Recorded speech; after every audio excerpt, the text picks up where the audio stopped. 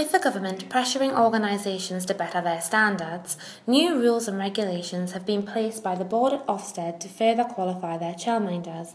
Many checks and inspections have secured childminder of 27 years, Anne Wright, an outstanding level in her latest reports.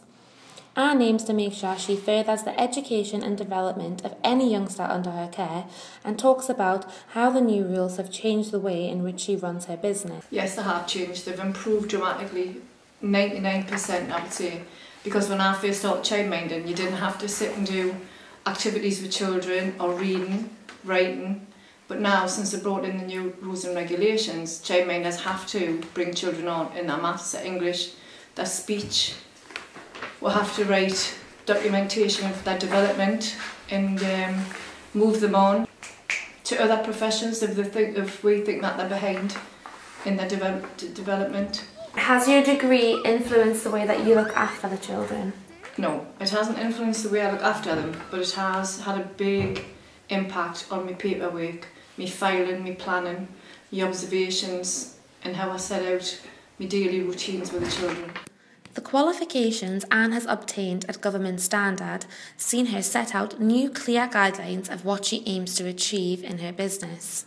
My aim is to teach the children about healthy eating and healthy lifestyles because there's that many children nowadays obese with all the restaurants and takeaways and McDonald's areas. So I've started in outside doing outside growing such as fruit and vegetables and flowers. So teaching the children and cookery and teaching them about healthy eating and how to grow things for themselves.